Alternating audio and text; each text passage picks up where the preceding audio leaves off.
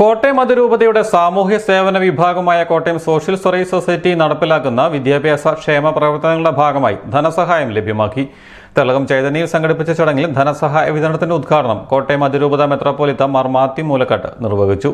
ജീവിതത്തിന്റെ പ്രധാനപ്പെട്ട അത്യാവശ്യങ്ങളിൽ വളരെ ശ്രദ്ധേയമായിട്ടുള്ള ഒന്നാണ് കുഞ്ഞുങ്ങളുടെ വിദ്യാഭ്യാസം. കാരണം വിദ്യാഭ്യാസത്തിലൂടെ മാത്രമേ ഉള്ളൂ നമുക്ക് വളർച്ച നേടാൻ സാധിക്കുകയുള്ളൂ നമുക്കറിയാം. അങ്ങനെ കുഞ്ഞുങ്ങൾക്ക് അറിവ് കൊടുക്കുവാനുള്ള മാതാപിതാക്കന്മാരുടെ പരിശ്രമങ്ങളിൽ അവർക്ക് ഒരു താങ്ങാകുവാൻ അവർക്ക് ഒരു ആശ്വാസമാകുവാൻ കേശ തയ്യാറാക്കുന്ന പദ്ധതിയാണ് വിദ്യാഭ്യാസ ക്ഷേമ പദ്ധതി. ഇതിലൂടെ സാധിക്കുന്ന ഒരു ധനസഹായം അവർക്ക് ലഭ്യമാക്കുന്നതിലൂടെ മാതാപിതാക്കളുടെ ഭാരം ലഘൂകരിക്കുവാനും കുഞ്ഞുങ്ങൾക്ക് പഠനത്തിന് കൂടുതൽ സൗകര്യങ്ങൾ വളർത്തി കൊടുക്കുവാനുമുള്ള പരിശ്രമമാണ് കെ എസ് എസ് നടത്തുക. പിന്നോക്കാവസ്ഥയിലുള്ള കുട്ടികൾക്ക് മികച്ച പഠന സൗകര്യം ഒരുക്കേണ്ടത് സാമൂഹ്യ ദൗത്യമാണെന്ന് അദ്ദേഹം ഉദ്ഘാടന പ്രസംഗത്തിൽ പറഞ്ഞു. കോട്ടയം ജില്ലാ പഞ്ചായത്ത് പ്രസിഡന്റ് നിർമ്മല ജിമ്മി ചടങ്ങിൽ അധ്യക്ഷത വഹിച്ചു. Ettumanoor municipality chairperson Lovely George Kottayam social service society executive director father Sunil Perumanoor assistant director father Mathews വലിയപുത്തമ്പരയിൽ എന്നിവർ പ്രസംഗിച്ചു.